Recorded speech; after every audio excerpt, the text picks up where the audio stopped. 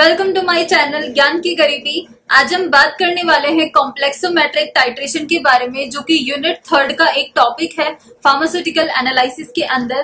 तो इसके जो नोट्स है, वो हमने नीचे डिस्क्रिप्शन बॉक्स में इसका लिंक दे दिया है तो आप वहाँ से जो है डाउनलोड कर सकते हैं। एंड आपने अभी तक हमारे चैनल को सब्सक्राइब नहीं किया है तो please subscribe to the channel and hit the bell icon so आपको हमारे चैनल की नोटिफिकेशन मिलते रहे। तो चलिए अब हम देखते हैं कि कॉम्प्लेक्सोमेट्रिक टाइट्रेशन जो है, इसका हम इंट्रोडक्शन पढ़ेंगे। फिर इसका हम प्रिंसिपल देखेंगे और इसकी थ्योरी देखेंगे। तो सबसे पहले जो कॉम्प्लेक्सोमेटिक टाइट्रेशन होता है, वो ऐसे टाइट्रेशन होता है, जिसके अंदर कॉम्प्लेक्सिंग एजेंट जो है, हम उसका यूज़ करते हैं। किसी भी जो पॉलीवेलेंट आयंस होते हैं, उनका एस्टिमेशन करने के लिए। पॉलीवेलेंट आयंस जैसे डाइवेलेंट हो गए ट्राइवेलेंट हो गए और मल्टीवेलेंट्स इस तरीके से। उसके बाद में जो मोस्ट कॉमन हम इसमें कॉम्प्लेक्सिंग एजेंट का जो यूज़ करते हैं मोस्ट कॉमनली हम ईडीटीए का यूज़ करते हैं। इसके बाद में कॉम्प्लेक्सोमेट्रिक जो टाइट्रेशन होता है, उसके अंदर कोई सिंपल मेटल आयन होता है, फिर वो जो है ट्रांसफॉर्म हो जाता है कॉम्प्लेक्स आयन के अंदर। और इसके अंदर हम एडिशन करते हैं रिएजेंट का, जिसे हम बोलते हैं लिगेंड तो लिगेंड का हम सिंपल मेटल आयंस के अंदर एडिशन करते हैं तो वो ट्रांसफॉर्म हो जाता है कॉम्प्लेक्स आयंस के अंदर। उसके बाद में जो कॉम्प्लेक्स फॉर्म होता है, वो वाटर सॉल्युबल होता है और स्टेबल भी होता है।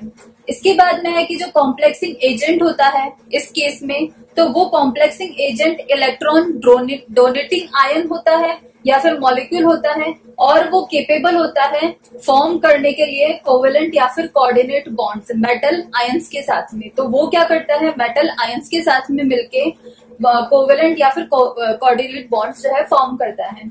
तो जो कॉम्प्लेक्स होता है, जो बनता है, वो उसकी डिफरेंट प्रॉपर्टीज़ हो जाती है मेटल आयंस के कंपैरिजन में। इसके बाद में है कि अगर जो कॉम्प्लेक्सिंग एजेंट है, वो मेटल आयन के साथ में सिर्फ़ सिंगल बॉन्ड बनाता है तो उस बॉन्ड की वजह से सिंगल बॉन्ड बनाता है तो ऐसा कॉम्प्लेक्सिंग एजेंट को हम बोलते हैं यूनिडेंटेट क्योंकि वो एक ही बॉन्ड जो है, वो फॉर्म करता है।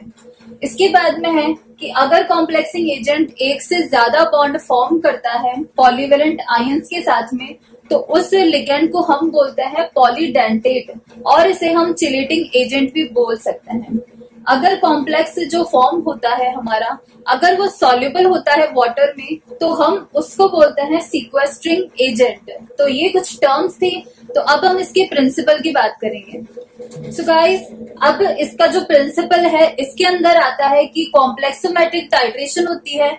इसके अंदर जो मेटल आयन होता है, उसको टाइट्रेट करवाया जाता है चिलेटिंग एजेंट या फिर कॉम्प्लेक्सिंग एजेंट के साथ में। और इसे हम जनरली लिगेंड बोलते हैं।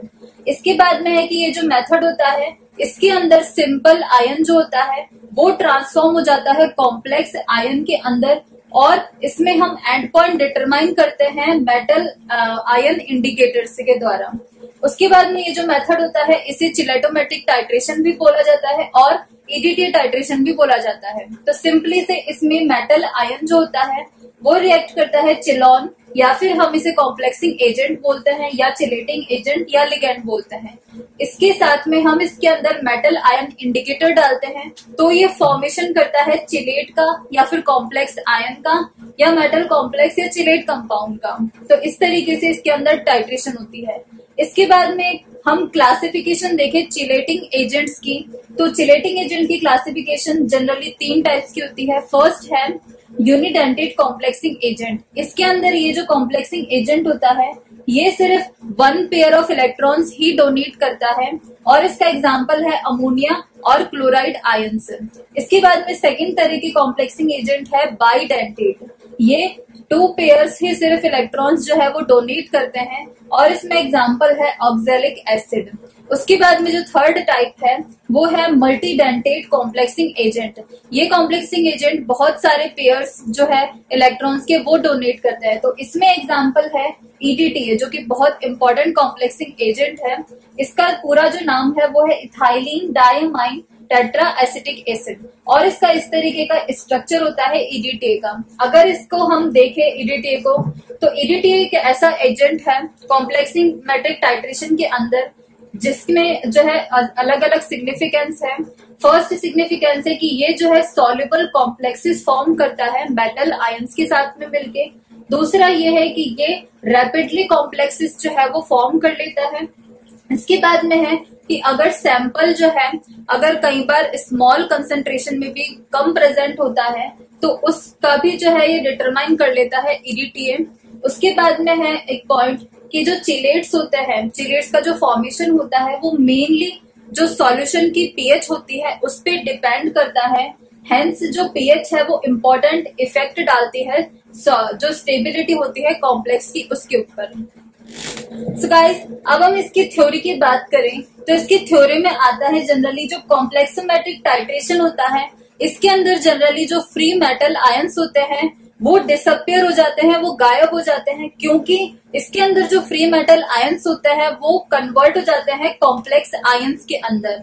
तो इसके बाद में है कि जैसे हम एसिड बेस्ड टाइट्रेशन के अंदर देखते हैं कि जो पीएच जो है, वो एंड पॉइंट पे सडनली जो है चेंज हो जाती है। वैसे ही कॉम्प्लेक्सोमेट्रिक टाइट्रेशन के अंदर हम प्लॉट ड्रॉ करते हैं ग्राफ ड्रॉ करते हैं पी एम के बीच में और वॉल्यूम टाइट्रेंट के बीच में। यहाँ पे पी एम हम यूज़ करेंगे, जैसे हम पीएच यूज़ करते हैं एसिड बेस्ड टाइट्रेशन के अंदर। क्योंकि पीएम जो है वो इसके अंदर मेटल आयन कंसेंट्रेशन को जो है दर्शाता है।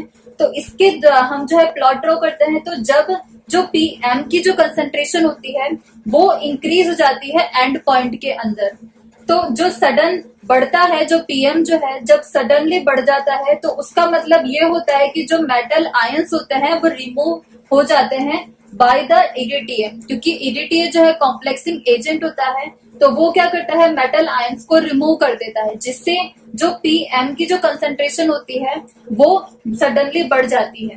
इसके बाद में है कि ये एक ऐसा मेथड होता है, जिसके अंदर जो फ्री मेटल आयंस होते हैं, वो गायब हो जाते हैं, और इसके अंदर हम डिटेक्ट करते हैं एंड पॉइंट मेटल आयंस के द्वारा। उसे हम बोलते हैं कॉम्प्लेक्सोमेट्रिक टाइट्रेशन इसके बाद में है कि जो एंड पॉइंट का डिटेक्शन होता है, वो हम इंडिकेटर्स के यूज़ करके जो है डिटेक्ट करते हैं, या फिर इंस्ट्रूमेंट्स को भी हम यूज़ करते हैं एंड पॉइंट डिटेक्ट करने के लिए, जैसे कंडक्टोमीटर या फिर पोटेंशियोमीटर इसके बाद में कुछ कॉम्प्लेक्सिंग एजेंट्स के एग्जाम्पल्स है, जिन्हें हम यूज़ करते हैं जनरली तो फ़र्स्ट है ईडीटीए ये तो मेनली जो है वो ज़्यादातर यूज़ होता है। इसे, इसकी जो फुल फॉर्म है वो है ethylene diamine tetra acidic acid तो सेकंड जो इसमें हम यूज़ करते हैं कॉम्प्लेक्सिंग एजेंट वो है डी टी पी ए वो है diethylene triamine penta acetic acid उसके बाद में जो थर्ड एग्ज़ाम्पल है, वो है EGTA ethylene glycol bis tetra acetic acid उसके बाद में अमोनिया और फिर इथाइलिन डायोमाइन तो ये कुछ एग्जाम्पल्स है कॉम्प्लेक्सिंग एजेंट्स के. सो so गाइस ये था कॉम्प्लेक्सिंग टाइट्रेशन का इंट्रोडक्शन प्रिंसिपल और इसकी थ्योरी और इसके जो नोट्स है वो हमने नीचे डिस्क्रिप्शन बॉक्स में इसका लिंक दे दिया है तो आप वहाँ से जो है डाउनलोड कर सकते हैं. And thanks for watching this video and if you like this video please hit the like button and subscribe my channel Gyan Ki Garibi and hit the bell icon to get notification for my new videos.